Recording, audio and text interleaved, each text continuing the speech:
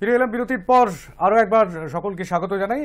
এবারে দ্বিতীয় বিষয়টি, যে বিষয়টির দিকে একটুখানি নজর রাখতে হবে, সেটা হচ্ছে আগামীকাল এবং আগামী পরশু, শনিবার এবং রবিবার এই দুদিন প্রদেশ কংগ্রেসের চিন্তন শিবির রয়েছে। কলকাতাতেই সেই চিন্তন শিবির অনুষ্ঠিত হবে এবং বিভিন্ন সেন্ট্রাল লিডার্স কেন্দ্রীয় স্তরের নেতারা সেখানে আসবেন। জেলা থেকেও বিভিন্ন নেতারা সেখানে আসবেন। এই দুদিনের এই চিন্তন শিবিরটি অন্য কোথাও করা যায় কিনা? মানে কলকাতার বাইরে কোথাও করা যায় কিনা সেই নিয়েও ভাবনা চিন্তা হয়েছিল, কিন্তু সেই বিষয়টাতে খুব একটা আমল দেননি প্রদেশ নেতারা।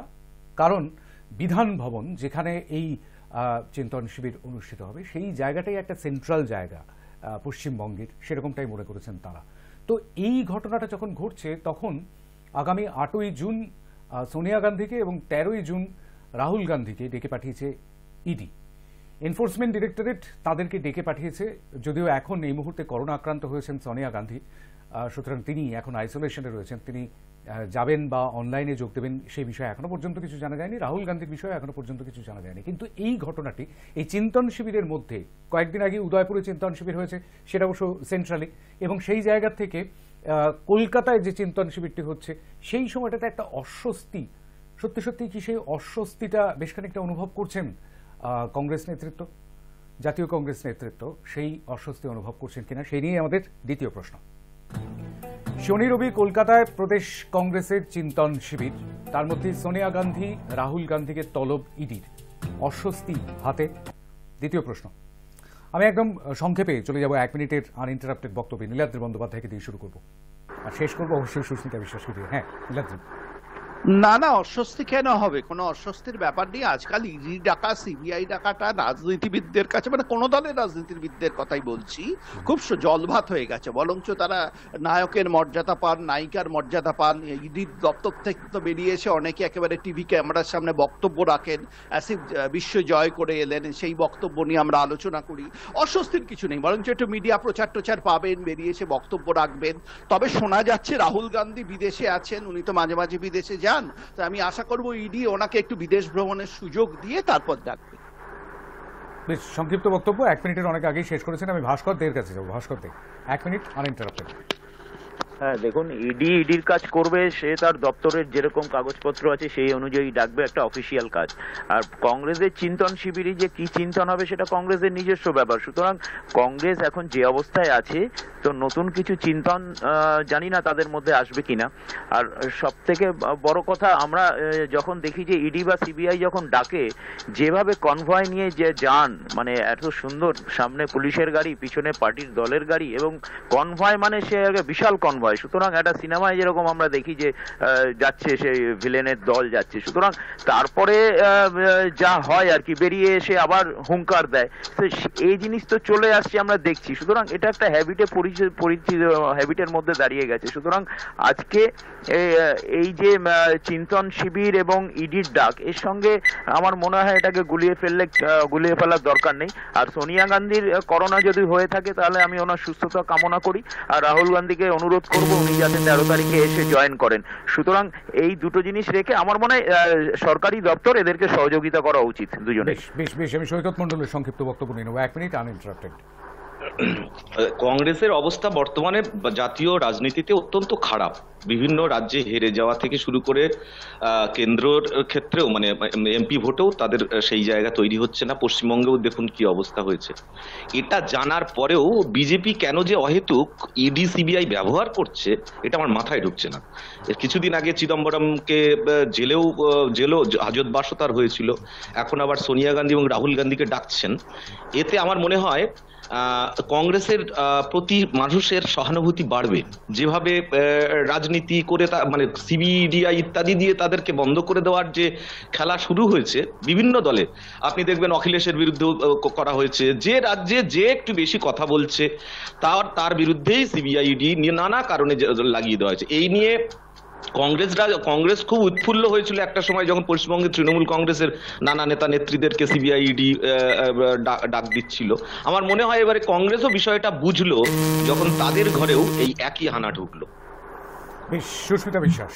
এক মিনিট আনইন্টারাপ্টেড বিষয়টা হচ্ছে আমি সৈকতদাকে সৈকতদাকে বলতে চাই সৈকতদা আমার আমরাকে এক করবেন না। বুঝেছেন তো? বিষয়টা হচ্ছে আমি পরে বলছি কথাটা, কারণটা কেন আমার আমরা বললাম। বিষয়টা হচ্ছে রাহুল গান্ধী বিদেশ থেকে চলে এসেছেন। আপনাদের কাছে হয়তো তথ্য নেই, যারা বললেন এখানে। তার মা অসুস্থ, তাই জন্য চলে এসেছে এবং প্রিয়াঙ্কা গান্ধীও আজকে করোনায় আক্রান্ত। এবং প্রচুর তার সাথে আমাদের কেসি বেণুগোপাল পু- পু- করোনায় আক্রান্ত। অনেক নেতারা কে- মানে আক্রান্ত এই করোনায়। সোনিয়া গান্ধীর সাথে তারা মিটিং করেছিলেন একসাথে। তাদের সুস্থতা কামনা করে একটা কথাই শুধু বলতে চাই, সোনিয়া গান্ধী এবং রাহুল গান্ধী দুজনেই প্রস্তুত ইডির মোকাবিলা করার জন্য এবং তারা অবশ্যই ইডিতে হাজে হানা দেবে। কারণ বিজেপি যেটা মনে করছে, তাদের নিজস্ব স্বার্থ চরিতার্থ করার জন্য তারা যেভাবে কংগ্রেসকে হ্যাকেল করার চেষ্টা করছে, সেটাতে কংগ্রেস তাতে কোনো ভয় পায় না। কংগ্রেস কোনো অন্যায় করেনি, সোনিয়া গান্ধী, রাহুল গান্ধী অবশ্যই ইডির দপ্তরে যাবে এবং তারা হানা দেবে। আর আপনাকে সৈকতবাবু বলছি, আমার আমরা এক করবেন না আমরা তপন কান্দুর মৃত্যুর হত্যাকাণ্ডের আমরা দাবি করেছি সিবিআই। আমরা ঝালদার তপন কান্দুর যোগ করেছি অনুপম দত্তেরও করেছি। আমরা আনিস খানের মৃত্যু সিবিআই দাবি করেছি। আমরা হাঁসখালি সিবিআই দাবি করেছি। আর সেই ঘটনা আজকে হত্যা করার ঘটনা আর আজকে কারও স্বার্থ চরিতার্থ করার জন্য একটা ন্যাশনাল হেরাল্ড নিয়ে একটা মিথ্যে মামলা করা যে একটা ইডি ডেকে কংগ্রেসকে হ্যাকেল করছে এই দুটো কিন্তু এক না এই দুটোকে কিন্তু এক করবে না। আমার- আমরা কিন্তু এক না বেশ আমি খুব সংক্ষিপ্ত এক করছি না আমি এক হ্যাঁ, করছি না সুস্মিতা দি কিন্তু এটা তো মানবেন যে ইডি সিবিআই ব্যবহার করা হচ্ছে? এটা মানবেন ইডি তো? সিবিআই ব্যবহার করা হচ্ছে সেটা তো সবাই জানে ইডি সিবিআই ব্যবহার করা না, সবাই জানে না, সবাই জানে না। না আজকে আজকে রাজ্যে যে আমাদের বর্তমানে রাজ্যে যে ঘটনাগুলো ঘটছে একের পর এক আনিস খানের মৃত্যু থেকে হাসখালি পর্যন্ত আজকে এইগুলোর আমরা সিবিআই তদন্ত চেয়েছি কারণ যেহেতু এখানে হ্যাঁ। রাজ্য মানে মনে করছেন যে সিবিআই নিরপেক্ষ তদন্ত করবে। কিন্তু কিন্তু মানে মনে করছেন যে সিবিআই নিরপেক্ষ তদন্ত করবে। অন্য বেশ রাজ্য তো। তার মানে মনে করেছেন যে না সুস্মিতা বিশ্বাস মনে করেছেন যে। মনে করেছেন যে নিরপেক্ষ তদন্ত হবে যদি সিবিআই তাই হওয়া উচিত। করে। রাজ্য প্রশাসনের উপরে আস্থা না থাকলে তাই হওয়া উচিত। কিন্তু সুস্মিতা দি একটু লক্ষ্য করে দেখুন। মনে করেন এই সেন্ট্রাল এজেন্সিগুলোকে লাগিয়ে বিজেপি তাদের নিজের সুবিধা করবে বিজেপি তাদের নিজের সুবিধা করবে না বিজেপি নিজের কন্ট্রাডিকশন। কন্ট্রাডিকশন বোধহয় থেকে যাচ্ছে। আমি নীলাদ্রি বন্দ্যোপাধ্যায়ের কাছে যাব। কন্ট্রাডিকশনটা থেকে যাচ্ছে না? যখন রাজ্যের ক্ষেত্রে তখন নিরপেক্ষ তদন্ত করবে সিবিআই কিন্তু যখন যখন সেটা সেন্ট্রালে আসবে তখন সেটা বলতে দিতে হবে। সেটা নিশ্চয়ই নিশ্চয়ই বলতে দিতে হবে। আমরা কিন্তু নিশ্চয়ই বলুন, খুনের- করুন। যেগুলো খুন হয়েছে সেই খুনগুলোর দাবিতে কিন্তু আমরা বলেছিলাম সিবিআই কিংবা ইডি চাওয়া হচ্ছে তার কারণ কিন্তু হাইকোর্টও কিন্তু আজকে এদের উপরে এই প্রশাসনের উপরে আস্থা রাখতে তাই। পারছে না তাই জন্য কিন্তু এই প্রশাসন এই প্রশাসন কিন্তু আজ পর্যন্ত হাইকোর্টের খানের হত্যার। কিন্তু হাইকোর্টের নির্দেশে হয়েছে আজকে কিন্তু আমাদের আনন্দ পাওয়ার কিছু নেই এখানে আজকে বিরোধী দলগুলো হ্যাঁ, হ্যাঁ, কিন্তু এই কথা উঠেছিল যে সুযোগ পেলে গান্ধী পরিবারের সম্পত্তিও আমি দেখব। হাইকোর্টেই এই হ্যাঁ, কথা হয়েছে। আর গান্ধী পরিবারের সম্পত্তি দেখুক না আমরা তো প্রস্তুত। আমরা প্রস্তুত সোনিয়া গান্ধী রাহুল গান্ধী ইডিতে হাজিরা দেবে। আমি জানি না একটা একটা একটা সুস্মিতা বিশ্বাস এক মিনিট। রাহুল গান্ধীর আহ, এক বিদেশ নিয়ে বলছেন তারা এটা জেনে রাখুন রাহুল গান্ধী চলে বেশ, বেশ, বেশ। রাহুল গান্ধীর বিদেশ বেশ বেশ তথ্যটা নেওয়া গেল তথ্যটা নেওয়া গেল তথ্যটা সত্যি খুব সত্যি কথা কিন্তু সুস্মিতা বিশ্বাস না, না, না, আমি আমি সা- নীল- সা- নীলাদ্রি হ্যাঁ নীলাদ্রি। আমার আমার প্রশ্নটা একটা জায়গায়। সেটা হচ্ছে যে আহ, একটা ভিডিও খুব ঘুরছে এই মুহূর্তে নেট পাড়ায়। সেটা হচ্ছে যে সোনিয়া গান্ধী মুখটা ঘুরিয়ে নিয়ে বলছেন मैं ইন্দিরা গান্ধী কি বহু হুঁ? ডরতি নেই হুঁ। সুতরাং সেই হ্যাঁ। জায়গাটা থেকে তিনি আমি নিজে এটা টুইট করেছি। Right right right. আমি একটু নীলাদ্রি বন্দ্যোপাধ্যায়ের কাছে যাব। নীলাদ্রি। না না এখন মুশকিলটা হচ্ছে দ্বিচারিতাটা। অভিষেক বন্দ্যোপাধ্যায়কে যখন ইডি ডাকে তিনি অপরাধী বলে আগেই ছাপ্পা পড়ে যায়। পার্থ চট্টোপাধ্যায়কে যখন সিবিআই ডাকে তিনি অপরাধী। মানে প্রমাণ হওয়ার আগেই অপরাধী হয়ে যান। আর যখন রাহুল গান্ধী আর সোনিয়া গান্ধীকে চুরির অপরাধের ইডি ডেকে পাঠায় তখন তারা অপরাধ তাদের ডাকাটা হচ্ছে ষড়যন্ত্র। আসলে কংগ্রেসের কংগ্রেসের বক্তব্য হচ্ছে রাহুল গান্ধী রাহুল গান্ধী। সাধারণ চুরি হচ্ছে যেটা ভারতের অন্য রাজনীতিবিদরা করে। সোনিয়া গান্ধী রাহুল গান্ধী করলে সেটা চুরি নয়। এটাই কংগ্রেসের আচ্ছা, বক্তব্য। হ্যাঁ, তাদের তাদের একটা অত্যন্ত সাংঘাতিক একটা অভিযোগ। সাংঘাতিক একটা অভিযোগ গেছে সেটা বুঝতে পারেন না আপনারা। আগে আর পরে আলাদা সুস্মিতা বিশ্বাস এবং ভারতবর্ষ। বন্দ্যোপাধ্যায় আমি আমি আমি একটু এবার ভাস্করদের কাছে যাব কারণ সমস্ত অভিযোগের তীরগুলো তো তাদের দিকেই যাচ্ছে। সিবিআই ইডিকে তারা ব্যবহার করছেন এই অভিযোগ পর্যন্ত উঠছে। যদিও তারা কেন্দ্রীয় সংস্থা বিজেপির তরফ থেকে বারবার শীর্ষ নেতৃত্বের তরফে বারবার বলা হয়েছে যে তারা স্বাধীনভাবে কাজকর্ম করে কিন্তু তারা তাহলে বিরোধীদের বিরোধীদের এক মিনিট আমি প্রশ্নটা শেষ করি। এক মিনিট এক মিনিট এক মিনিট। প্রশ্নটা শেষ করি। ভাস্কর থেকে যে প্রশ্নটা করছিলাম। তাহলে বিরোধীদের দিকে এত বেশি করে নজর দেওয়া হয় কেন? সেই প্রশ্নটা উঠছে। ভাস্কর দে উত্তর দিয়ে নিন তারপর আমি আসছি। সুস্মিতা বিশ্বাস আপনার কাছে। ভাস্কর দে। না দেখুন এতক্ষণ ধরে শুনছিলাম সৈকত বাবুও বললেন সুস্মিতা দিও বললেন যে সেন্ট্রাল এজেন্সিকে ভারতীয় জনতা পার্টি কাজে লাগাচ্ছে। ভারতীয় জনতা পার্টির আন্ডারে সেন্ট্রাল এজেন্সি নয় এটা ভুল ধারণা। এটা একটা আলাদা দপ্তর এবং সেখানে আলাদা সিস্টেম আছে। এটা সুস্মিতা দিরা যখন সেন্ট্রালে ছিলেন দাঁড়ান দাঁড়ান দাঁড়ান দাঁড়ান দাঁড়ান দাঁড়ান। অনেক চিৎকার করেছেন আপনি একটু দাঁড়ান। এখন ব্যাপার হচ্ছে যদি কেউ অন্যায় করে ছাত্র ছাত্রীরা যদি অন্যায় করে, মাস্টারমশাই যদি বকে, যদি ডেকে পাঠায়, তাকে যদি শাসন করে তো ইডি সিবিআই ডাকছে সেখানে ভারতীয় জনতা পার্টি কেন আছে আজকে সেন্ট্রালে যখন কেন্দ্রীয় সরকারে কংগ্রেস ছিল তারা কি করেছে? সুতরাং আজকে ভারতীয় জনতা পার্টির সঙ্গে কেন্দ্রীয় ভাস্কর বাবু অনেকে এরকমটা হ্যাঁ। বলছেন আমি আসছি আমি আসছি আমি আসছি। অন্য অতিথিদের কাছে আমি অবশ্যই আসছি কিন্তু আমি ভাস্কর বাবুকে একটা কথা বলতে চাইব সেটা হচ্ছে অনেকে এরকম অভিযোগ করছেন যে হ্যাঁ ছাত্রছাত্রীদের ডেকে শিক্ষক মশাই হয়তো বলছেন বকাবকি করছেন ছাত্ররাও বেরিয়ে এসে হয়তো সেই বিষয়ে অসন্তুষ্টি জানাচ্ছে। কিন্তু স্কুল পরিচালন কমিটির যিনি সচিব, তিনি বসে রয়েছেন অন্যত্র। তিনি আসলে মাস্টারমশাইদের নিয়ন্ত্রণ করছেন। এরকমটাই হয়তো বলতে চাইছেন তারা। না না এটা তো এটা বিরোধী থাকলে না এই কথাগুলো বলাটা খুব সহজ হয় এবং সুবিধা হয়। বিরোধিতা আর তো কিছু করার নেই। এখন সরকারে যারা থাকবে তাদের এই কথাগুলো শুনতে হবে। কিন্তু এটা জেনে রাখুন সেন্ট্রাল এজেন্সি ইডি বা সিবিআই যে তদন্তগুলো করছে এইগুলো মানে সম্পূর্ণ ভিত্তি আছে কোনো ভিত্তি না। তাহলে তারা হাইকোর্টে যাক সুপ্রিম কোর্টে যাক সেখানে যাক। সুতরাং হ্যাঁ, দেখা যাবে সেখানে সেখানে তদন্ত হবে। সুতরাং এটা এটা- আহ, মিথ্যাচার হচ্ছে যে ভারতীয় জনতা এই খুব দ্রুত সুস্মিতা বিশ্বাস এবং সৈকত মন্ডলের কাছে যাব মিথ্যাচার মিথ্যাচার বলছেন ভাস্কর। দিল্লি হাইকোর্টে অলরেডি কংগ্রেস গেছে, সোনিয়া গান্ধী গেছেন। এবং আপনারা আপনি নিজে বলুন তো ভাস্কর বাবু আপনি নিজে জানেন যে সোনিয়া গান্ধী আর রাহুল গান্ধীকে কেন ইডি ডেকে পাঠিয়েছে? বলুন তো দেখি আপনি কি জানেন। আর একটা কথা বলতে চাই, কাল কালকে মানে অখিলেশ যাদব একটা মন্তব্য করেছে। সত্যি ব্যাপারটা খুব হাস্যকর, কিন্তু একবার না বলে আমি পাচ্ছি না যে কবে এরকম দেখা যাবে, ইডি জওহরলাল নেহরুকে তলব করে পাঠাবে। না না এগুলো তো অবান্তর কথাবার্তা এগুলো অবান্তর কথাবার্তা। এগুলো জওয়াহরলাল নেহরু এরকম কথা হয়।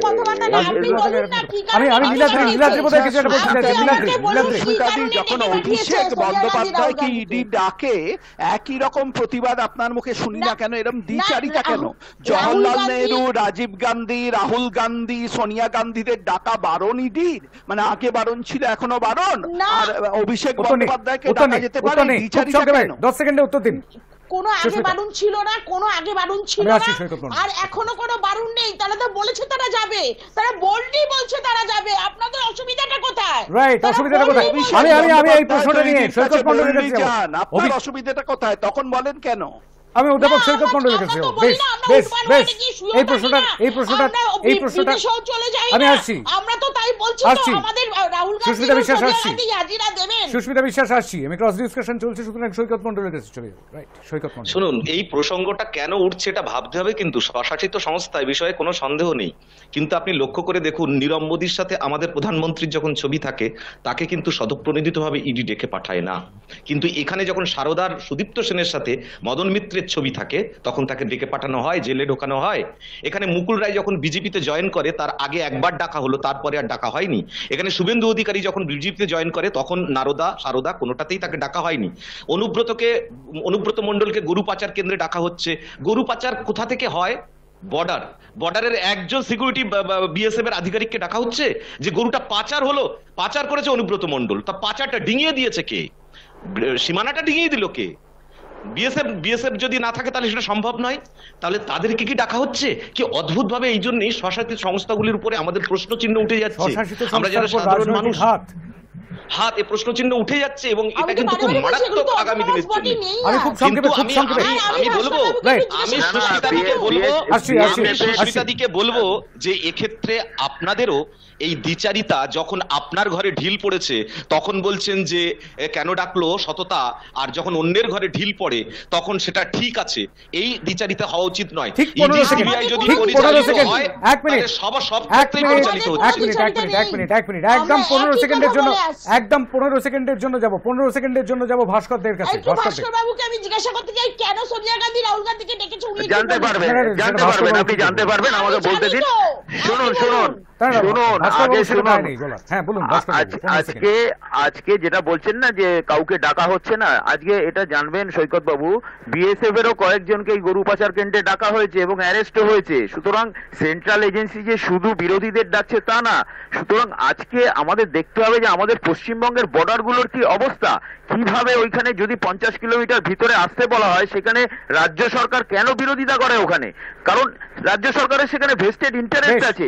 আজকে। আজকে আরেকটা কথা আরেকটা কথা বলে দিই। আজকে অনলাইনে মদের মতো অনলাইনে বোমা বিক্রি হচ্ছে সৈকত বাবু এটা মানতে হবে আপনাকে। কয়েকদিন আগে সেই খবর এসেছিল আমাদের সামনে হ্যাঁ, সুস্মিতা বিশ্বাস সুস্মিতা বিশ্বাস দাঁড়িয়ে আছি? অনলাইনে সুস্মিতা বিশ্বাস সুস্মিতা বিশ্বাস পনেরো সেকেন্ড দ্বিচারিতা বিষয়টা হচ্ছে কোনো দ্বিচারিতা নয় আমরা একই জায়গায় স্টিক করে আছি। আমি দুটোকেই আগেই বলেছি আম আমরা একসাথে গোলালে চলবে না। আজকে ন্যাশনাল হেরাল্ড মামলা যেভাবে আপনি কি বলছেন? গান্ধী- আম আমরা বলে আপনি আপনি সাধারণ রাজনীতিবিদদের রাহুল গান্ধী সোনিয়া গান্ধীর থেকে আলাদা করছেন? এটাকে অন্যায় নয়? তারা কি আলাদা? না না আম তারা পাচক খুব কাজে লাগে হজম আপনি করায়। যাই হোক হ্যাঁ আপনি বলুন গান্ধী পরিবার সম্বন্ধে শুনলে একটু বেশি চিৎকার করেন নীলাদি বাবু বেশ, সেটা নতুন করে কিছু অবাক বেশ, হই না। শেষ করুন, শেষ করুন, সময় চলে যাবে, সময় চলে যাবে। করে আমার আমরা বলে আপনি। কোন রাজনীতিবিদকে অপমান করতে পারেন না। রাহুল গান্ধীর যোগ্যতা কি? উনি কোন পদে আছেন? সুস্মিতা- সুস্মিতা বিশ্বাস, সুস্মিতা বিশ্বাস। আমরা এক মিনিট নীলাদ্রি বন্দ্যোপাধ্যায় নীলাদ্রি নীলাদ্রি নীলাদ্রি নীলাদ্রি নীলাদ্রি আমি তো সুস্মিতা বিশ্বাসকে প্রশ্ন করতে চাইব। সুস্মিতা বিশ্বাস কি ঘটনাটাকে এক মিনিট সুস্মিতা বিশ্বাস। এক মিনিট সুস্মিতা বিশ্বাস। সুস্মিতা বিশ্বাস। এক মিনিট এক মিনিট এক মিনিট। সুস্মিতা বিশ্বাসকে আমি জানতে চাইব সুস্মিতা বিশ্বাসের কাছে সেটা কি রাজনীতিকদের ক্ষেত্রে আমার আমলা বলেছেন। রাজনীতিকদের ক্ষেত্রে না ঘটনার ক্ষেত্রে বিরুদ্ধে গেছে রাহুল আমি গান্ধী। বলতে চেয়েছি আমার আমরা বিষয়টা হচ্ছে হেরাল্ড ন্যাশনাল হেরাল্ডের যে সংস্থার যে ঘটনাটা, case। organizationের ক্ষেত্রে একটা কেস এটা একটা ঘটনা। আর আমি আমরা বলতে চেয়েছি হচ্ছে মার্ডার কেসগুলোকে যার তদন্ত আমরা সিবিআই তদন্ত বেশ চেয়েছি বেশ বেশ বেশ বেশ আমি খুব সংক্ষেপে দুর্নীতি আমি খুব সংক্ষেপে আলাদা মার্ডার হলে আলাদা। ওর তো দুর্নীতির অভিযোগ আছে রাহুল গান্ধীর বিরুদ্ধে। সেটাই বলছেন সুস্মিতা বিশ্বাস। আমি একদম শেষে সৈকত মন্ডলের কাছে আসব। অধ্যাপক সৈকত মন্ডল পনেরো সেকেন্ড। হ্যাঁ আমি তো এখনও বলব যে এটা খুব খুব খুব সাংঘাতিক পরিণতির দিকে যাচ্ছে। এই যে আজকে মোহন ভাগবতের একটা কথা শুনলাম আমি যে উনি বলেছেন যে এই যত্রতত্র আর এই শিবলিঙ্গ আসব। খোঁজার আচ্ছা, প্রয়োজন নেই। সব মসজিদের হ্যাঁ, নিচে শিবলিঙ্গ এটা খোঁজার কিন্তু খুব সাংঘাতিক জায়গায় যাচ্ছিল। মানে তাজমহলের নিচে কুতুব মিনারের নিচে আহ, সব এই যে এই সাংঘাতিক দিক আমি বলতে চাইছি কোনো ঘটনা একটা ঘটা আর সেই ঘটনার লক্ষ্য অন্যদিকে যাওয়া এই যে সিবিআই অভিমুখটা ঘুরে যাওয়া। অভিমুখটা ঘুরে যাওয়া। শুনুন, এবং সেই অভিমুখের ভেতরে কি আছে?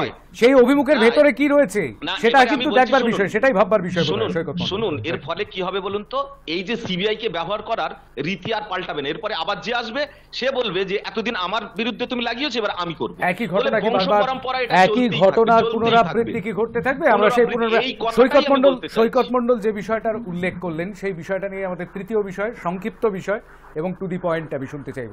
আমাদের তৃতীয় বিষয়, প্রশ্ন তিন। সব মসজিদের নিচে শিবলিঙ্গ খোঁজার কি দরকার? প্রশ্ন তুললেন আরএসএস প্রধান মোহন ভাগবত। সত্যিই কি অপ্রত্যাশিত মন্তব্য? আমাদের প্রশ্ন এটাই, সত্যিই কি অপ্রত্যাশিত মন্তব্য মোহন ভাগবতের কাছ থেকে? আরএসএস এর সরসংঘ চালক, যাকে বলা হয়, সেই মোহন ভাগবত এই প্রশ্ন তুলছেন। যেখানে, একটু আগে সৈকত মণ্ডল বলছিলেন, যেখানে বারবার গোটা ভারতবর্ষের, বিশেষত উত্তরের দিকটি তে বারংবার শুনতে পাওয়া যাচ্ছিল, এখানে কোনো একটি নিদর্শন আছে, ওখানে অন্য আরেকটি নিদর্শন আছে, ইত্যাদি ইত্যাদি ইত্যাদি। তো সেগুলো অভিযোগ, সেগুলো সপ্রমাণিত হলে তবেই বোঝা যাবে যে সেগুলোর ভেতরে সত্য কতটা রয়েছে। কিন্তু মোহন ভাগবতের এই যে মন্তব্য, সেই মন্তব্য সম্পর্কে শশী তারুর একটি টুইট করেছেন, সেটা হচ্ছে, এটি গঠনমূলক মন্তব্য। পারস্পরিক হানাহানি থেকে বিরত থাকাটাই ইতিহাস থেকে শিক্ষা দিয়ে আমাদের দরকার। কিন্তু এই যে পারস্পরিক হানাহানি, সেই বিষয়টা এত বেশি বেড়ে উঠছিল বলেই কি মোহন ভাগবত এই প্রশ্ন করলেন নাকি? এর পিছনে রয়েছে অন্য কোনো উদ্দেশ্য। আমি সেটা একটু বোঝবার চেষ্টা করব। আমি ভাস্করদের কাছে প্রথমে আসব। ভাস্কর বাবু এক মিনিট আনইন্টারাপ্টেড দেখুন, মোহন ভগবত একজন অভিজ্ঞ সংগঠক, আমাদের সংঘ চালক। সুতরাং ওনার বক্তব্য, উনি যেটা বলেছেন, একটা শান্তির বাতাবরণের জন্যই এটা বলেছেন। আর উনি লাস্টে এটাও বলেছেন যে, আদালত যদি কিছু বলেন, সেটাকে আমরা মান্যতা দেবো। সুতরাং আদালত যদি কখনো বলে যে, এটা হওয়া উচিত, যেরকম আমরা দেখেছি, একটা ঘটনা ঘটছে সেটা, সেখানে একটা এনকোয়ারি হচ্ছে সেখানে অ্যাপয়েন্টমেন্ট করা হয়েছে বিভিন্ন অফিসারদের সুতরাং সেই ধরনের আদালত যদি মনে করে, বা আদালতে কেউ যদি যায় সেখানে আদালত যদি সেই ফেভারে কোনো রায় দেয় যে হ্যাঁ এখানে দেখা হোক সেগুলো মান্যতা আমরা নিশ্চয়ই দেব। সুতরাং এটা মোহন ভাগবত যেটা বলেছেন উনি একজন বিচক্ষণ আহ, আহ, সংঘ চালক এবং সংগঠক। আমি ওনার এই বক্তব্যকে সমর্থন করি। আমি নীলাদ্রি বন্দ্যোপাধ্যায়ের কাছে চলে যাব। নীলাদ্রি বন্দ্যোপাধ্যায় এক মিনিট আনইন্টারাপ্টেড মুশকিল হচ্ছে শান্তম। ধরুন মোহন বাগবাদ যদি বলতেন যে সব মন্দিরের নিচে শিবলিঙ্গ মসজিদের নিচে শিবলিঙ্গ পাওয়া যায় কিনা দেখা দরকার, সেটা নিয়েও সমালোচনা হতো। উনি কেন বললেন? আর এখন বলেছেন, কি দরকার? সেটা নিয়েও সমালোচনা হচ্ছে। এটা প্রত্যাশিত না অপ্রত্যাশিত। আসলে সমস্যাটা প্রত্যাশা উনি যাই মন্তব্য করেন না কেন, প্রত্যাশিত না অপ্রত্যাশিত। আরে বাবা, যে কোনো নাগরিক তার মন্তব্য রাখতে পারেন। কিন্তু কি হবে, কি না হবে, সেটা তো বিচার আদালত সিদ্ধান্ত নেবেন। সরকার সিদ্ধান্ত নেবেন। মোহন ভাগবত তো সরকারের অংশ নন, তিনি আদালতও নন। তিনি তার মতামত সুচিন্তিত মতামত জানিয়েছেন। এখন মুশকিল হচ্ছে এই যে আরএসএস ফোবিয়া বা হিন্দু ফোবিয়া, একটা বহু মানুষের মধ্যে আছে। এই হিন্দু, ইসলামোফোবিয়া যেরকম আমেরিকায় ছিল, ভারতে একটা হিন্দু ফোবিয়া কিছু মানুষের মধ্যে আছে। এবার মোহন ভাগবত যেহেতু আর এস এস যেটা হিন্দুদের সংগঠন, তার একজন প্রমুখ কিছু বললেই ভয় পেয়ে যাচ্ছেন মানুষ এত ভয় কিসের? আমি সেটাই প্রশ্ন করছি তার বেশ আমি সুস্মিতা বিশ্বাসের কাছে যাব সুস্মিতা বিশ্বাস। এক মিনিট এত ভয় এত ভয় কিসের? সেই উত্তরটা আপনি পরে পাবেন। পরে আপনার জন্য সেটা অপেক্ষা করছে আপনাদের মতো লোকেদের জন্য। যাই হোক বিষয়টা হচ্ছে দেখুন মোহ- মোহন ভাগবত আর এস এর প্রধান তার গলার সুর পাল্টেছে তার জন্য যথেষ্ট আমরা উল্লাসিত। আহ, অবশ্যই সুরটা কিন্তু সুরটা কি পরে পরবর্তী ক্ষেত্রে বেদনাদায়ক সুর হবে না আনন্দজনিত সুর হবে সেটা বোঝা যাচ্ছে না। তার কারণ যারা কিনা আজকে সারাক্ষণ হিন্দু রাষ্ট্রের কথা বলে এসছেন হিন্দুত্বর কথা হিন্দুত্ববাদীর কথা বলে এসছেন সারাক্ষণ হিন্দু রাষ্ট্রের কথা মিনিট আসছে এটা আমি আসব আসব আসব আসব আসব আসব সুস্মিতা বিশ্বাস হ্যাঁ বলুন। বিষয়টা হচ্ছে, তার গলায় যখন তিনি যখন সুর পাল্টেছেন, তিনি যে কথাটা বলেছেন, তার পিছনেও কিন্তু একটা বড় উদ্দেশ্য থাকতে পারে। আজকে প্রত্যেকটা মসজিদের নিচে কি শিবলিঙ্গ আছে? এই যে কোশ্চেন মার্ক এইটা কিন্তু একটা পরবর্তী ক্ষেত্রে একটা বিরাট বড় একটা কিন্তু সূচক ইন্ডিকেট করতে পারে। ইন্ডিকেশন কিন্তু অন্যরকম হতে পারে। এবং তার থেকে আরেকটা কথা হচ্ছে যে, তিনি বললেন যে, আমরা নাকি তাদেরই তারা আমাদেরই বংশ, বংশানুক্রমিক, আমরা তাদের থেকে এসেছি। এই যে এই কথাটা বললেন আজকে তারা এই হিন্দুত্বের তাস খেলে তারা দেখছেন যে হয়তো হানাহানিটা পরিমাণটা এতই বেড়ে যাচ্ছে আগামী দিনে তাদের জন্য ভয়াবহ হতে পারে। তাই জন্য এইরকম একটা কথা এবং কথার পিছনে এরকম একটা ইন্ডিকেশন আমি একটু জেনে নেবার চেষ্টা করব। অধ্যাপক সৈকত মন্ডল কি ভাবছেন? এক মিনিট আনইন্টারাপ্টেড এ ভারতবর্ষে সর্বশেষ হিন্দু মুসলমানকে সম্প্রীতির আহ্বান জানিয়েছিলেন সিরাজদৌলা, ইংরেজদের আসার আগে। সিরাজদৌলা সর্বপ্রথম সবাইকে হিন্দু মুসলমান এক হয়ে ইংরেজের বিরুদ্ধে লড়তে বলেছিলেন। সম্ভব হয়নি। তারপরে ইংরেজরা এসে আমাদের রক্তের মধ্যে ঢুকিয়ে দিয়ে গেল হিন্দু মুসলমানের বিরোধ, যাতে আমরা এক হয়ে ওদের সাথে না লড়াইটা করতে পারি। সেই বিরোধ শেষ পর্যন্ত দেশভাগের জায়গায় গিয়ে পৌঁছলো। মহাত্মা গান্ধী পারেননি, সে জায়গাও সৃষ্টি করতে পারেননি, অনেক বড় ইতিহাস। কিন্তু সেই যে বংশ পরম্পরায় আমাদের মধ্যে ঢুকে গেল যে জিনিস সেই জিনিসের চর্চা আবার অনেকটা স্তীমিত হয়ে যাওয়ার পরে আবার শুরু হয়ে গেল। আমি লক্ষ্য করে দেখেছি, যখনই বিজেপি সরকারে আসে কেন্দ্রে, তখনই হিন্দু সংকটে পড়ে। অন্য সময় হিন্দুদের কোনো সংকট নেই। বিজেপি সরকারে আসলেই, যে সরকারে আছে, তা সে বরং আমাদের তাহলে রক্ষা করুক, সে আসলেই আমরা সংকটে পড়ে যাই, আমরা যারা হিন্দু আছি। এটা এই যে এই যে একটা বার্তা তৈরি করা হচ্ছে, সেই বার্তারই ফলশ্রুতি হচ্ছে গিয়ে ওই বিভিন্ন মসজিদের নিচে শিবলিঙ্গ খুঁজে পাওয়া। আর কিছুই না। মোহন ভাগবতের উক্তিকে আমি সমর্থন জানাই, ধন্যবাদ জানাই। ঠিক যেমন বর্ধমানে দাঙ্গা বাঁধানোর ক্ষেত্রে ইমাম সাহেব নিজের সন্তান মৃত্যুর পরেও মাইকে তিনি বলেছিলেন যে আমার ছেলের জন্য যেন কেউ কোনো হিন্দুর গায়ে না হাত দেয়। এই যে সম্প্রীতির ডাক তিনি দিয়েছিলেন, মোহন ভাগবতের এই উক্তি যেন এরকমই একটা জায়গায় আগামী দিনে ভারতবর্ষকে নিয়ে যায়, যেখানে গায়ে গা মিলিয়ে, কাঁধে কাঁধ মিলিয়ে হিন্দু মুসলমান আমরা একসঙ্গে থাকি। এই নিয়ে আলোচনারই প্রয়োজন না হয়, এই নিয়ে চর্চা করেরই প্রয়োজন না হয় আমাদের। তাই। মোহন ভাগবত সে কথাই বলেছেন। বাংলায় তর্জমা করলে এরকমটাই দাঁড়াচ্ছে নাগপুরের একটি সভায়, মোহন ভাগবত যেমনটা বলেছেন, সেটা হচ্ছে আমাদের কিছু জায়গা নিয়ে বিশেষ ভক্তি থাকতে পারে ভাবনা থাকতে পারে, কিন্তু তা বলে রোজ নতুন নতুন বিষয় কেন জাগিয়ে তোলা হবে? আমাদের আদৌ বিতর্ক বাড়ানো উচিত নয়। জ্ঞানব্যাপী নিয়ে আমাদের ভক্তিশ্রদ্ধা থাকতেই পারে, কিন্তু তা বলে প্রত্যেক মসজিদেই কেন শিবলিঙ্গ পূজা হবে? এই প্রশ্নটা তুলেছেন। আর এই প্রশ্নটা মনে হয় শুভবুদ্ধি সম্পন্ন সব ভারতীয় নাগরিকের কাছে অত্যন্ত ওয়েলকাম হবে এই বক্তব্যটা। তাই নয় কি? আমি খুব সংক্ষেপে নীলাদ্রি বন্দ্যোপাধ্যায়ের কাছে যাব। পনেরো সেকেন্ড। না এই প্রথম বোধহয় সৈকতদা মোহন ভাগবতের কোনো বক্তব্যকে সাধুবাদ জানালেন। বাংলায় এবং ভারতবর্ষে যে পরিবর্তন আসছে এটাই সেটা ইঙ্গিত করে। কারণ মমতা বন্দ্যোপাধ্যায় সম্প্রতি আরএসএস এর মধ্যে অনেক ভালো জিনিস খুঁজে পাচ্ছেন। আসলে একটা ভুল বোঝাবুঝি ছিল সেই ভুলটা তাদের কেটে যাচ্ছে মন থেকে। আমার দেখে ভালো লাগছে ভারতের সম্প্রতি সাম্প্রদায়িক সম্প্রীতি বজায় থাকুক ভারতের হিন্দু মুসলমান একই বৃন্তে দুই কুসুমের মতো প্রস্ফুটিত হোক তবে সিরাজদুল্লাহর কথা যেটা বললেন তার পাশাপাশি ঔরঙ্গজেবের কথা আমাদের মাথায় রাখতে হবে। ঔরঙ্গজেব কি করেছিলেন? সিরাজদুল্লাহ কি করেছিলেন? আমরা আশা করি সিরাজদুল্লাহর উদাহরণটা নেব ঔরঙ্গজেবের উদাহরণটা নেব না এটুকুই বলব। বেশ আমি সুস্মিতা বিশ্বাসের কাছে চলে যাব। সুস্মিতা বিশ্বাস পনেরো সেকেন্ড। যদি আগামী দিনে সত্যি আমাদের এই নিয়ে আলোচনা না করতে হয় তার থেকে আমাদের মতো খুশি আর বোধহয় কেউ হবে না। তার কারণ আমরা চাই সবাই যেন আমরা হিন্দু মুসলমান মিলে কাঁধে কাঁধ মিলে আমরা চলতে পারি যাতে এই অযোধ্যা রাম মন্দির এগুলো নিয়ে আমাদের আর চর্চা না করতে হয়। তা সুতরাং সেদিকে তাকিয়ে আমি বলব মোহন ভগবতের এই সুর যেন বরাবর তার গলায় থাকে। বেশ ভাস্কর হ্যাঁ আমি একটা কথাই বলব যে এই যে জাতি ধর্ম নির্বিশেষে যে আর আরএসএস কে বা বিজেপি কে যে একটা সাম্প্রদায়িক দল বলা হয় আমার মনে হয় এটা মানুষের মধ্যে থেকে এটা দূর হবে। এবং আরএসএস কে যে আহ, শুধু আহ, মমতা ব্যানার্জি বা অন্য কেউ দিক নির্দেশ করে তা না আরএসএস এর কাছে গিয়েছিলেন প্রণব মুখার্জির মতো লোকও। সুতরাং আরএসএস কখনো একটা উগ্রবাদী সংগঠন নয় যেটা অন্যান্যরা বলে থাকেন এবং সামাজিক কাজ করে বলেই আজকে মোহন ভাগবতের মুখ থেকে এরকম একটা আহ, ভালো বক্তব্য যেটা সবার কাছে গ্রহণযোগ্য বক্তব্য আজকে বেরিয়ে এসেছে। এটা সবাইকে সাধুবাদ জানানোর জন্যই আমি এটা বলব। সৈকত মন্ডল কি সাধুবাদ জানাচ্ছেন। সামাজিক ক্ষেত্রে। না আমি প্রথম কথা বলি নীলাদ্রিদা আমি মোহন ভাগবতকে নিন্দে করা বা প্রশংসা করার সুযোগ ইতিপূর্বে কোনোদিন পাইনি। আপনি বললেন তো যে এই প্রথম করলাম প্রশংসা।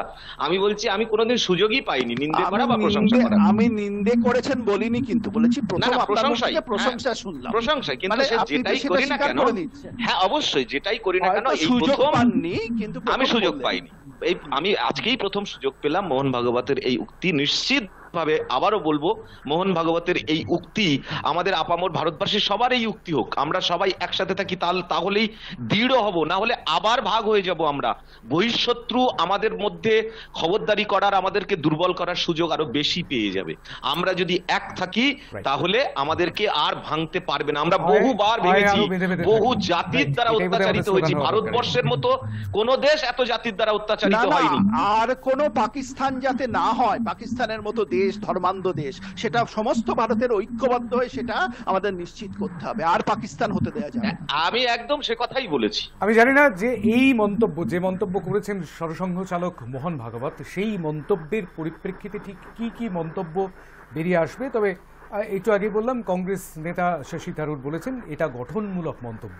তিনি প্রশংসাই করেছেন। আসলে এটাই বোধ হয় ভারতের যে যে আহ, আত্মা সেই আত্মাটাকেই বোধ হয় ধরেছেন মোহন ভাগবত তার মন্তব্যে, সেই কারণে কেউই তাকে অপ্রশংসা করতে পারছেন না এই মুহূর্তে। আর ভারতের আত্মাকে আমরাও একটু সম্মান জানাই। এই বক্তব্যের ভিতর থেকে অন্য কোনো বক্তব্য বেরিয়ে আসে কিনা সেই বিতর্কটা বরঞ্চ থাক। আজকে, আজকের এই আলোচনা শেষ করতে হচ্ছে। অত্যন্ত তিনটি গুরুত্বপূর্ণ বিষয় ছিল। আগামীকালও বেশ কিছু গুরুত্বপূর্ণ বিষয় আসতে চলেছে। সেই দিকে আমাদের অবশ্যই নজর রাখতে হবে। অনেক ধন্যবাদ সুস্মিতা বিশ্বাস, অনেক ধন্যবাদ সৈকত মণ্ডল, অনেক ধন্যবাদ ভাস্কর দে, অনেক ধন্যবাদ নীলাদ্রি বন্দ্যোপাধ্যায়কে আমাদের সঙ্গে থাকবার জন্য। একজন বিখ্যাত সাংবাদিকের কথা বলে শেষ করি, অজিত আঞ্জুম। তিনি চাকরি ছেড়ে দিয়ে নিজেই একটি ইউটিউব চ্যানেল করেছেন এই মুহূর্তে। গত বিধানসভা নির্বাচনের সময় উত্তরপ্রদেশে প্রচুর সারা ইউপি প্রায় ঘুরে বেরিয়েছেন তিনি এবং সেখান থেকে তার অবশ্য ভবিষ্যৎবাণীটা ঠিক হয়নি। কিন্তু তা সত্ত্বেও জিতেন্দ্রম বেশ কিছু ইস্যু তুলে আনবার চেষ্টা করেন। আজকে যেমন একটি ইস্যু টুইট করেছেন তিনি, সেই বিষয়টা হচ্ছে যে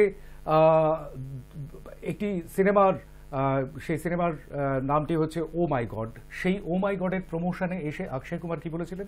এবং পৃথ্বীরাজ সম- সম্রাট পৃথ্বীরাজ, সেখানে এসে তিনি পুজো করছেন। অর্থাৎ একদিকে যুক্তিবাদী ছিলেন, এখন বদলে গিয়ে তিনি পূজা পূজা পাঠ করছেন। এটাতে আপত্তি থাকার কথা নয়। প্রত্যেক মানুষই তো বদলে যান। প্রত্যেক মানুষই পরিস্থিতির চাপে কখনো বদলান, কখনো নিজের ভেতর থেকে বদলে যান। সুতরাং সবসময় মনে করে নেবই বা কেন? যে জোর করে তাকে বদলে ফেলা হয়েছে, তাকে বদলাতে বাধ্য করা হয়েছে।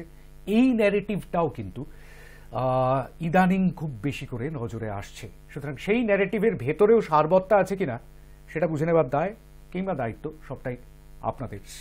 ভাবুন, ভাবা প্র্যাকটিস করুন। আজকের হাইটক এই পর্যন্তই। নমস্কার।